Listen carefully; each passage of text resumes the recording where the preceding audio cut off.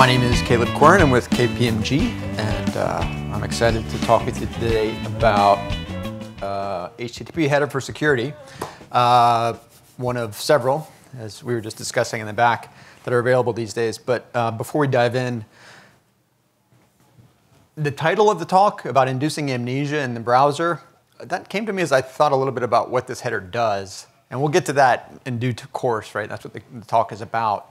But does anybody remember uh, those old black and white movies when there was like uh, maybe like an evil um, therapist or, or, psychotherapist with like an amulet, you know, and he would wave the amulet slowly and say, You will not remember anything that's about to happen or what we talked about.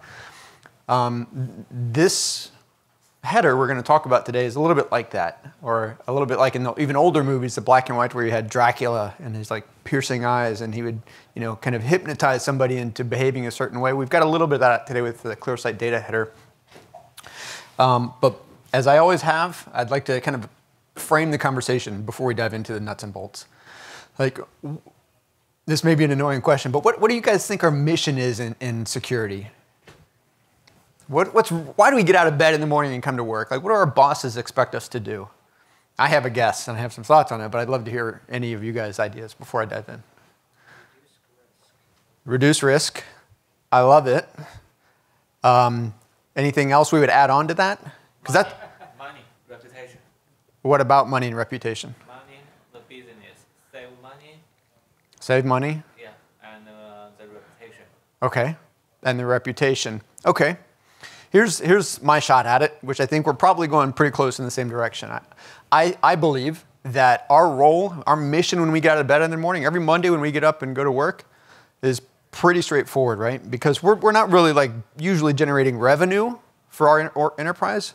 We're reducing cost.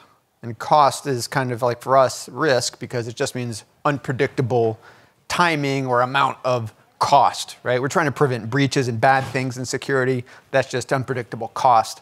But that's it. Boom, like you said, at the end of the day, we need just like a salesperson. A salesperson has a quota of how much how much volume they're supposed to sell every year.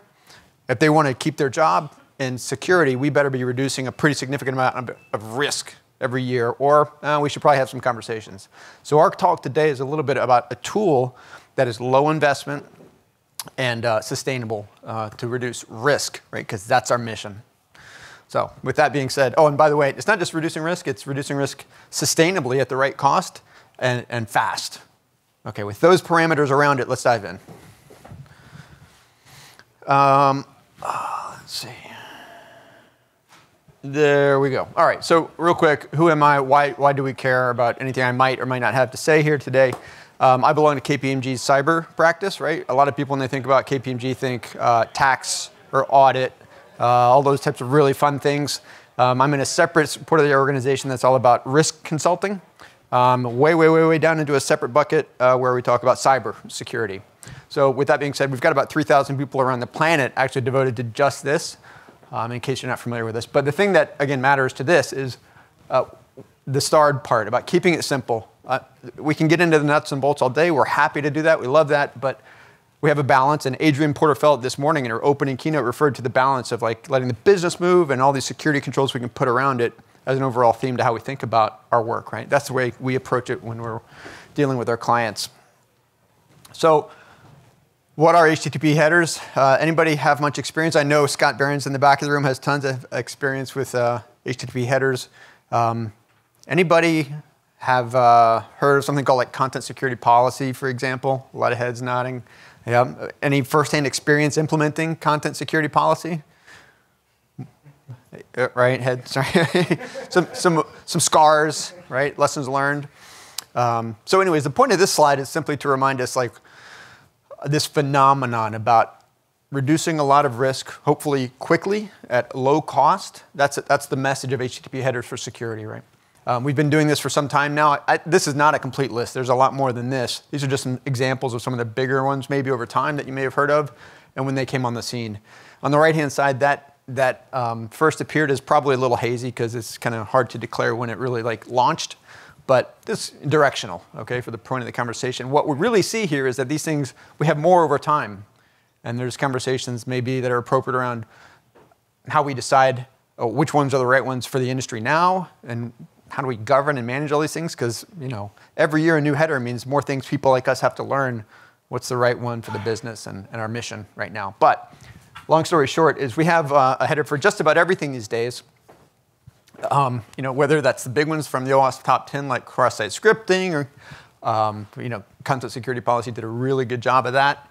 Um, we've got the old classic clickjacking stuff that X-Frame-Options was built to handle, et cetera. Like, I think we get the idea. There's a lot of HTTP headers. It's in our interest to learn them because, again, there's zero hardware to install. There are no support contracts with vendors. Those are things our bosses love, right? It's just a matter of maybe getting them these in the backlog and prioritizing them appropriately with the dev teams or the ops folks, right? So big, big, big messages. When we go back to work on Monday again and we say, hey, hey boss, what did we learn at AppSec California? We can say, these HTTP header things, I've got something for you. We're going to eliminate an entire class of vulnerabilities with a header. Um, it may be the Clear Site data header or one of these, but pound for pound, these are things that justify you sending me to AppSec California. Okay. All right, so quick aside, how many people here have heard of this thing called GDPR, the General Data Protection uh, Regulation? Is that what it is? Okay, I got it right.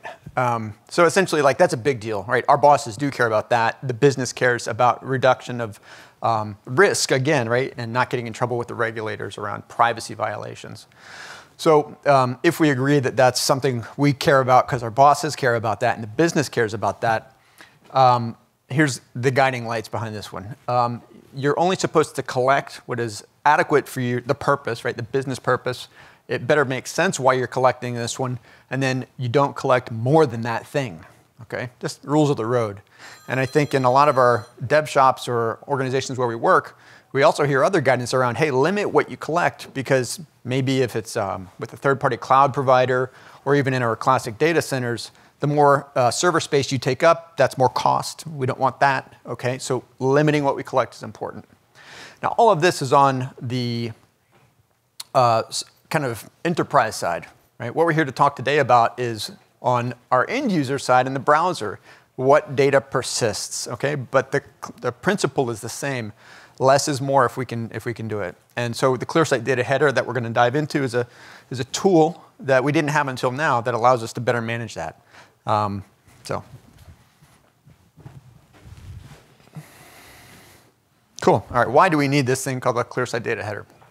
There's a class of stuff that, as web application builders, um, we may leave behind. You know how when we go camping, there's always those signs that say "Leave no trace." You know, clean up behind yourself.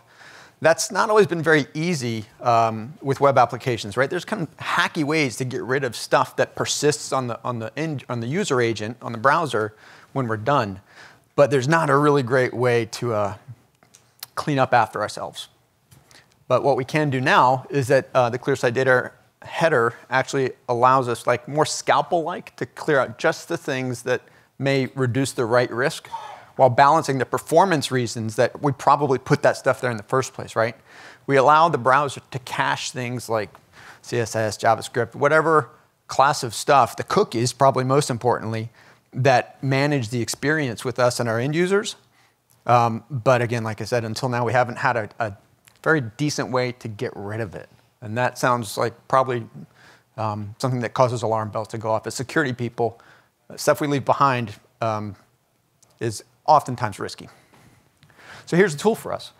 Right? Um, essentially, at the end of the day, the Clear Site data header allows us to blast away that stuff that we have um, suspicions could be actually increasing risk for us and the users. Um, now, the problem is, is that this isn't very straightforward. Right? Actually, the details are where it gets a little tricky. But um, at least then we have a tool to take care of it. And we'll talk about the details here in a second. But pound for pound, like let's imagine um, our site was compromised by a persistent cross-site scripting attack, right? Uh, we need, every time our user goes back to our website again, because of stuff that's cached and living on their end, they, they're still experiencing the same thing. The Clear Site data header allows us to blast away like a fire hose all of those things that keep calling back the persistent cross-site scripting attack so that, hey, clean slate. That's very powerful. It wasn't, wasn't really easy before. Um, Oh, and but yeah, this, this first one is um, you know kind of more around the privacy side of things.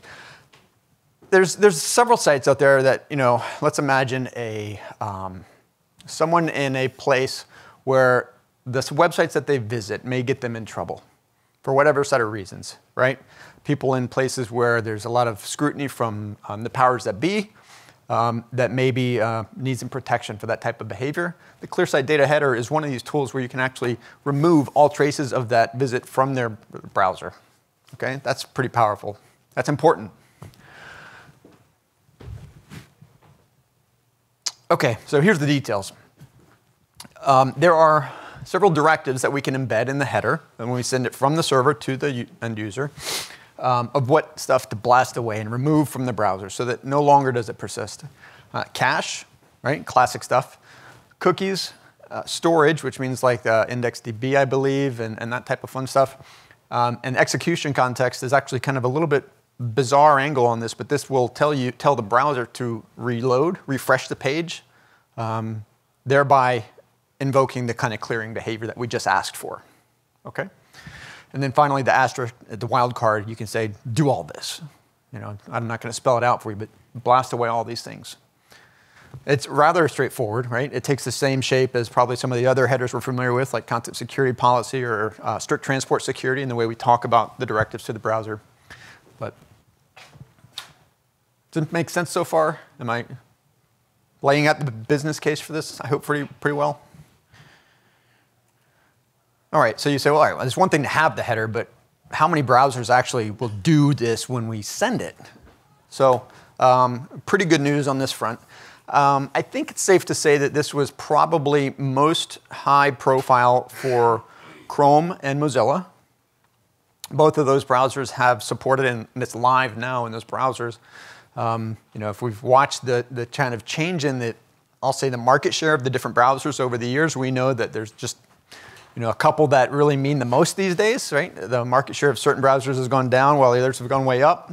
So if we have the right ones, um, if we put this header out there uh, in the right ones, we're good to go because most of our users are going to enjoy the benefits. So pound for pound, if Chrome and Firefox are taken care of, uh, that's good. Right? Okay. So, and that's true. Like these both support Clear Site data header. Um, on the bottom row, I did want to address that. Anybody familiar with the news that came out in December about um, the kind of code base behind Microsoft's browser plans? Anybody want to give a quick recap of what happened? Right, thank you. Yep, Microsoft is dropping their proprietary um, engines, browser engines, in favor of Chromium. So the back end of the next browser that Microsoft puts out um, is, is going to run on Chromium. The same kind of uh, back end Chrome runs, obviously, and uh, Firefox borrows heavily from. So that's a huge deal. But one of the things it means for us as implementers is we can say, hey, boss, the back end of the browser that will run the enterprise you know, in due course um, will support the headers we're, we're building in now. So that's another strong argument.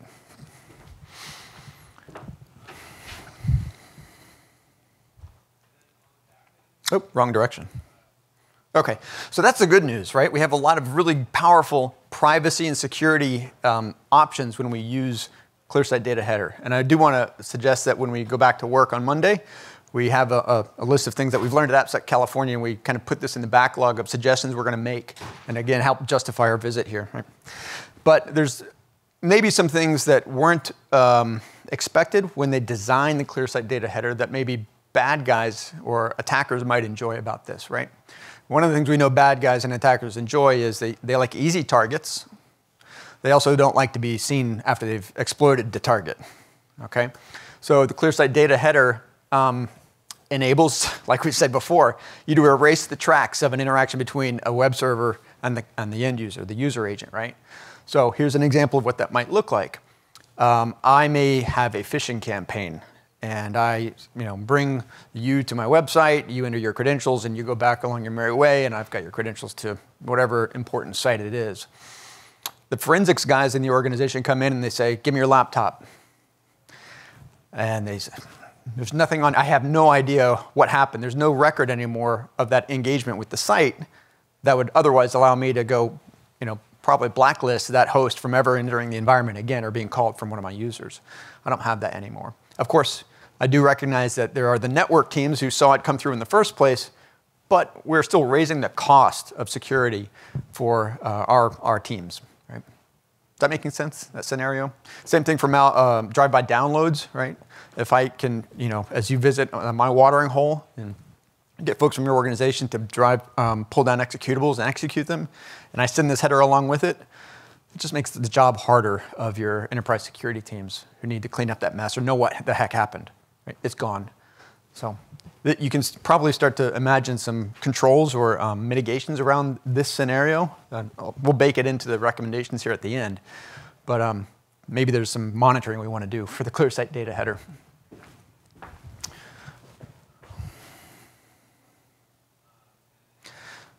Okay, so this one is a little maybe more esoteric. And Dan Veditz of Mozilla, um, I don't know if the folks in the room know Dan. Dan actually, several years ago, was part of a, presentation here on, on uh, content security policy with me and Scott in the back row there. Um, header um, uh, proponent. Anyways, Scott, Dan put this um, issue on GitHub about the Clear Site data header. He said, wait a second, um, maybe the, the use of this header has some unintended consequences in terms of how it can affect the browser. And essentially, I'll, I'll, tell the story maybe a little bit better than the slide does. But let's say I um, can set headers from foo.example.com, just some subdomain, right? And I send this header out down to the user who visits foo.example.com, this host that I control. Anybody who visits example.com is also affected by what I sent from my subdomain. Now that's we're not really sure how big of a security risk that is. Like in the grand scheme of things, is that a huge deal? But it's a deal that we don't want to not know about. So let's say, for example, that your enterprise, um, sometimes what we see is some subdomain will be uh, given out to some marketing team or organization to, to execute on some project, right? Some high, high um, visibility thing that the business needs. Let's say, okay, there's this team, we've outsourced to them, they're going to be in charge of the subdomain. They may or may not um, be as secure as the rest of the enterprise, and that that would be a way that some malicious attacker could come in and execute something like this, thereby flushing the cookies or the other important stuff that you may have wanted to persist across the whole domain. Is that tracking? Does that make sense? Cool. So um, again, it, it, to my knowledge, this hasn't been really addressed yet by the um, folks who wrote the spec for Clear Site Data Header. Um, I don't think this means it's a bad header to use. It's just something to keep in mind. Uh, before I get much farther, are there any questions about how this works or, or the why? I see this more as an offensive tool mm-hmm. versus the defense. But I get your point. You can maybe track some of that telemetry to see yep. if they're actually leveraging those that tool set. Yep. But uh, you know, it's an interesting concept. Um, I'd be curious to see what research has to yeah. say. I think we're driving in the same direction. So thank you for that. Forensic wise, it would be hard versus like seeing something network wise on like wire. Yep. Yep. Cool. Thank you. We've got about five minutes left, right? Okay. All right. No problem. So here's the thing: is that this header is probably meant. I mean, let's think about it. We probably don't want to like a lot of these headers we're talking about are sent on just about every uh, response from the server. You know, whether it's content security policy or HSTS, those are sent all the time. 100% of requests, you shoot it out the door to the browser. Most of the time, Clear Site data is usually sent maybe on logout, because we need that cookie during the session. We don't want to blast it away on every, on every interaction. So upon logout, we say, boom, Clear Site data, clean up after ourselves. So it's not the type of thing that we can easily scan the web for like you can for a lot of these headers. You know, there's, there's a bunch of sites out there that measure adoption of these headers over time, and we can see like strict transport security and content security policy growing, growing, growing, growing. That's great news. This is not the type of thing we should expect to find being sent very often, because it should only probably be sent upon like logout or other special events. So um, with that said, regardless, we, we ran a quick kind of sample scan of like the Alexa Top 1 Million, um, Cisco Umbrella, which is a, a, similar data set. It's a little bit more, it's like Alexa Top 1 Million, as you guys probably remember, is the most popular sites out there. Um, Cisco Umbrella is more about what are the most common hosts that send traffic around the web, because Cisco has all these vantage points, you know, on the back end of what we're doing out there on the network. And then httparchive.org, if anybody's familiar with that, um, or not familiar, I'd definitely recommend a look. It's a very powerful tool for measuring adoption of technologies and um, kind of practices that the way we build the web. So you can use that database because they scan the web, I think now every month, and allow you to um, use the Google console, like Google BigQuery, to dive into that data, and you can see really cool stuff. But anyways, so what we did is we looked back over through like September, and I only found about five sites, period, across each of these scans that have implemented uh, Clear Site data on every request you go ask them. Okay, that's not surprising. It's probably not the normal use case for this, um, and it's a brand new header. But if anybody's interested in which ones, we can maybe talk afterwards, and I'd be happy to. We have a question already on that. I'll catch up with you afterwards, and we can share on that. Uh, I'll, share this. That there doesn't really seem to be a great reason for why they're there. Oh, Okay. thinking it'd be some sort of well, see, th- sensitive, like, warn or something. like Uh, I didn't see it on any sensitive sites. Uh, I, I was maybe I had a hypothesis that if you see this out there, maybe it is one of these phishing sites or a malicious site, right? So if, because they want they want to hide their tracks from the interaction. I didn't find that either. Um, so for what it's worth, I either we didn't hit these sites that are using it and doing bad things, or they haven't caught on and started using this yet. But cool.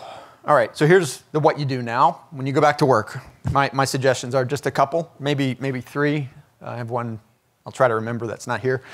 Um, number one is you know go back to work on Monday and say, hey boss, I heard about this thing called the Clear Site data header. It has security and privacy benefits, super low level of effort, moderate um, risk reduction ability to us. We should investigate it and put it in the backlog, um, at least to test it and play around with it.